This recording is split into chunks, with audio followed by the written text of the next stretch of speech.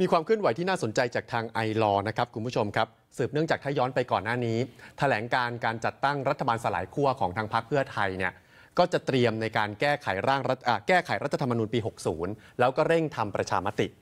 ไอรอออกมาแสดงความกังวลเรื่องนี้ บอกว่าท่าทีตอนนี้เหมือนพลังประชารัฐก็จะมารวมไทยสร้างชาติก็จะมา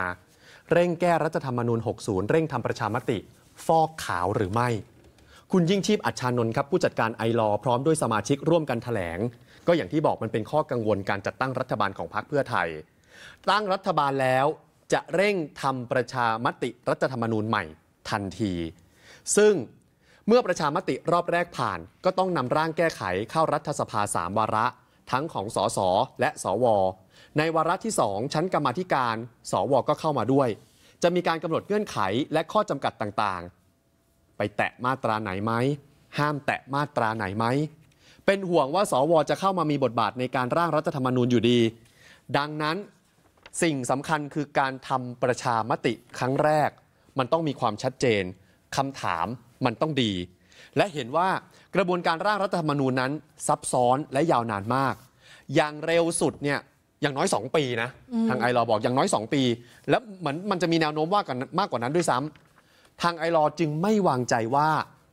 พักที่ไปชวนมาร่วมรัฐบาลตอนนี้มีแนวโน้มอย่างที่บอกพลังประชารัฐ รวมไทยสร้างชาติ จะเป็นการแก้ไขรัฐธรรมนูญ คืนอำนาจให้ประชาชนจริงหรือไม่ โปร่งใสหรือไม่ หรือใช้เพื่อมาฟอกตัวฟอกขาวกันแน่ ดูเหมือนว่าอ่าพักอย่างพลังประชารัฐ และรวมไทยสร้างชาติเนี่ย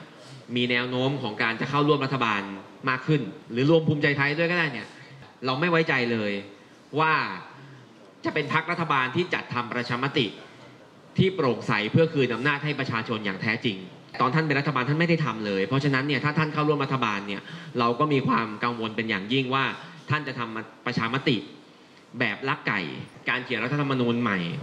จะไม่ถูกเอามาใช้เป็นเพียง เครื่องมือฟอกตัวของขั้วอำนาจเดิม หรือการผสมขั้วอำนาจ เรายืนยันว่าเราต้องการเห็นกระบวนการทั้งหมดก่อนที่มันจะเริ่มขึ้นนะครับ ให้ทุกคนเข้าใจตรงกัน คือก่อนจะทำประชามติ หรือว่าช่วงนี้เปิดออกมาเลยได้ไหมว่าคำถามที่จะใช้ในการถามประชามติคืออะไร วันอาทิตย์ที่ 13 สิงหาคมนี้ไอรอบอกว่าเดี๋ยวบ่ายสามไอรอและภาคประชาชนจะทำกิจกรรม เปิดตัวประชามติ เพื่อเสนอคำถามในการทำประชามตินำไปสู่การเสนอร่างแก้ไขรัฐธรรมนูญทั้งฉบับที่หน้าหอศิลป์กทมครับ อืม